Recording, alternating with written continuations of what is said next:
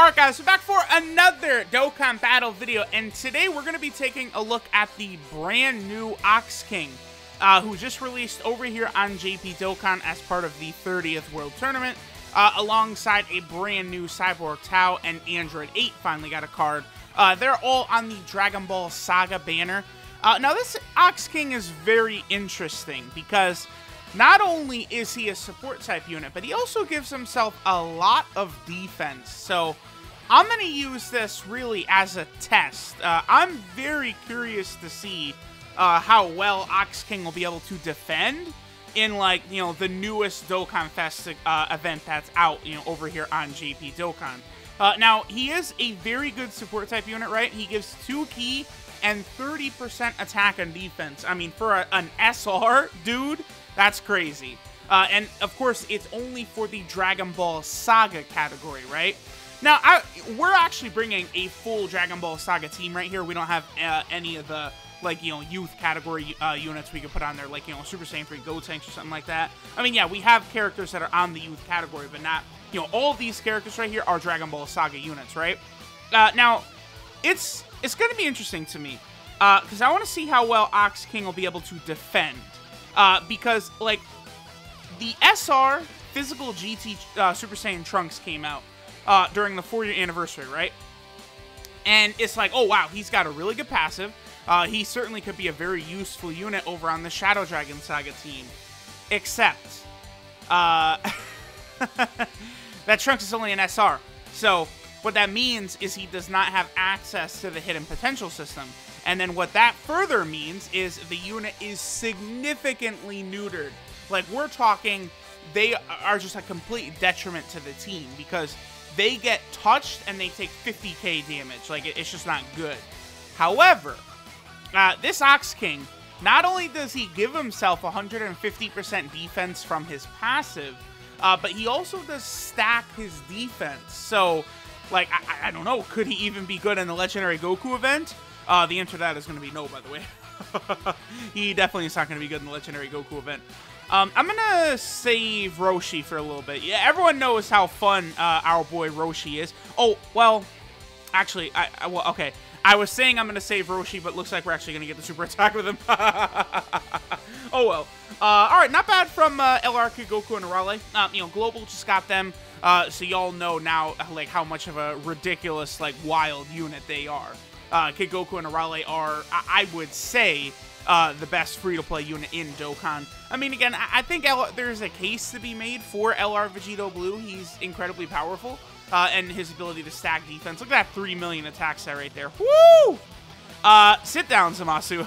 hey, just like the anime. A nice 4 million crit right there, and he stunned him. Uh, that... that Roshi card is really fun, by the way. Like, I love that. Like, like the Demon King Piccolo is pretty good. But, like, Roshi is, like, real intriguing, man. Um, okay, so this is the turn we're looking for. Uh, we finally got Ox King on rotation. Uh, this is Ox King from uh, the start of Dragon Ball, of course. So, I mean, let's see. Um, let's see how much damage he'll take. Like, is Zamasu just gonna blow Ox King's back out right here and body bag him? I, I don't know. I let, let, let's see. Let's see what this looks like. Okay, well, Oh, doesn't he lower defense? That's annoying. Yeah, 120k, and he does lower defense and attack. Okay, so there he was at about 200,000. I mean, and he's taking 22k. Okay, see, that was actually pretty unfortunate uh, because, like, you know, I want to see how well he can tank, and the first attack he receives is a super attack that lowers his defense. So what I'm probably to do, I guess, is I, I, I think I'm to back out and I'm to hop back into uh, another event. Uh, because, again, like, you know, he took 22k damage after having his attack lowered. I feel like that's not too bad. I, I feel like that's, that's, that's not too bad. So he, he might be pretty good. Maybe we'll we'll give him one more turn, uh, and then we'll go ahead and switch um, over to... Yeah, that's the other thing, too. Does this Zamasu? he uses two different super attacks. That's so fascinating to me. That he, uh, like, as a boss, he shoots out multiple different types of super attacks. Like, that's real interesting. That's uh, that, that, that, that, that does give me a lot of hope for the future of Dokkan, right? Like, they really could be adding interesting things in the future. Like a boss having two different types of super attacks. I don't, have we ever seen that before? I don't think so. Um, okay, so, yeah, yeah, okay, okay, this will be good. As long as Zamasu doesn't super attack. Um, let's see what our boy is capable of doing.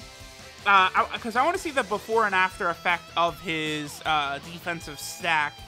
Uh, okay, so his his attack and defense are not lowered right now, actually. Okay, okay, okay, okay. That that's not bad. That's not bad. So, uh, you know, he he doesn't have anything lowering him down, holding him back right here. So let's see what he's at. 25k right there. Uh, there he is at 192,000. Not terribly great. and now he gets supered. Okay, how much damage is our boy Ox King gonna take? He, this is probably gonna cause us to die here. I think 120k. Uh, well, okay, okay, wait, wait. That, yeah, that, that's really bad. For a second, I'm thinking of the Legendary Goku event, and I'm like, oh, that's not too bad. No, that's, that's quite bad, actually. Yeah, I, I just, here's the thing. It's great that he gives, you know, 30% to attack and defense uh, for Dragon Ball Saga units, right? You know, we need, like, a better Dragon Ball Saga team, but what, why not just make him an SSR? I, I don't understand, because like without access to the hit, the hidden potential system, like he just has no chance of being usable. It's just Dokkan, in my opinion, they can't be releasing SR cards anymore. Like this is not Dragon Ball Legends, you know. In Legends, sure they'll make the new Extreme card pretty good, but like as a consequence, Extreme cards literally have LR rates on Legends. Like people say, oh yeah, yeah, Extremes are so good on Legends. Yeah, with the freaking LR rates. I'm, I'm not surprised they're good. But like here in Dokkan, uh, there's also an issue in that SR suck. Like you can't, you can't. I, I don't think you can use them, man. Like without like all of the different buffs you get from the hidden potential system, all of these different abilities, and SR cards just don't have access to it. So like I would never run like outside of this video right here. I don't think I would ever run this Ox King. Like maybe as a test, right? Like, all right, let, let's let's go ahead and test him out now in the Legendary Goku event. Let's see if him stacking up defense is actually going to make a difference. Uh, I, I don't think so. Because, again, like, here's the thing. Let's look at, I don't know, who probably has the lowest stats on the team here? I, I think probably Roshi. 11,000 defense, and then here's King Piccolo. Okay, he has 8,000 defense. That's way low. Uh, that's pretty low, but he's a rainbow unit. Uh, then Ox King at 3,200. Like, again, he just doesn't have it. He has no chance to be a competitive unit as an SR. So, I mean, Dokkan uh, has definitely got to work on that. Like, we, I don't, I, I don't like the idea of releasing SRs. Like, either open up the potential system uh, to allow uh, SRs to use it, or just, just don't like. Oh, that's unfortunate. Uh, I think we probably are going to die right here. Maybe. It depends on how much Demon King Piccolo, uh, how much damage he'll take. Yeah, 131k, that's a lot. Uh, we got some unfortunate uh, things happen here. I, I, guess I should have used an item. Oh well. But like, you know, this is, you know, this is what's gonna happen uh, when you're gonna go ahead and run uh, an SR. Uh, SRs are gonna do you no favors. They're not gonna allow you to, again, be competitive. Like they get touched and it's it's GG. I mean, now sure, you know, if you're really gonna run Ox King, you know, you're gonna be putting him in the final spot, like the floater, right? And in traditional Dokkan events and stuff like that, you're not really gonna encounter a boss super attacking like that last slot uh, very often you know, in like the Legendary Goku event and stuff like that, yeah, you, know, you get supered in that final slot every single turn. But in a traditional Dokkan event, I, I feel like that doesn't really happen as often. So you can get away with using them. but here's the thing, like, let's just talk about Goku's team for a second, right? Because, you know, Ox King can only be used on the Dragon Ball Saga team. That's his only category. Uh, he only buffs Dragon Ball Saga units. But here's the thing with Kid Goku, right? Right now, the Dragon Ball Saga is limited to just uh, Kid Goku's leader skill, right? Well, I mean, I guess uh, TEQ Roshi and the STR King Piccolo, they're also Dragon Ball Saga units, but like you're not like I, I don't I don't think people are going to be running the team.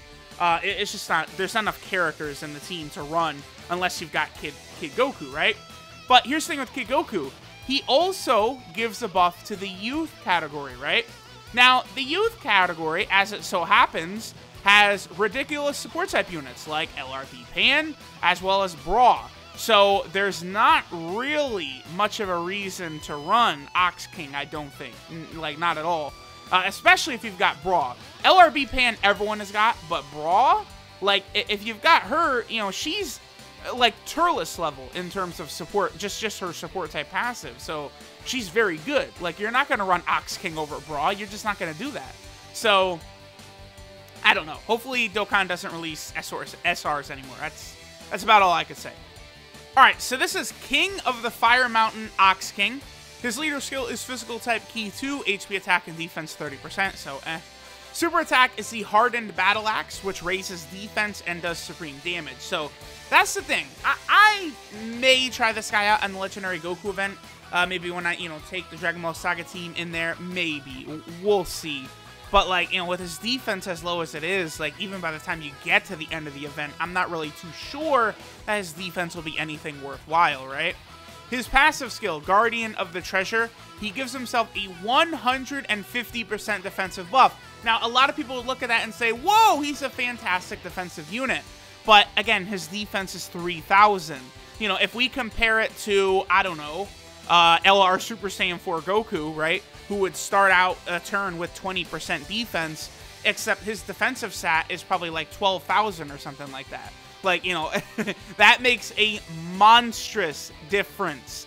A monstrous difference. Actually, LR Super Saiyan 4 Goku, he definitely has higher than uh, uh, 12,000 attack. I'm actually going to bring that up. I'm, I'm just curious, because just because that's the unit I made the comparison on, I'm, I'm curious, and I'm going to bring it up and see what his actual uh, defense of stat is.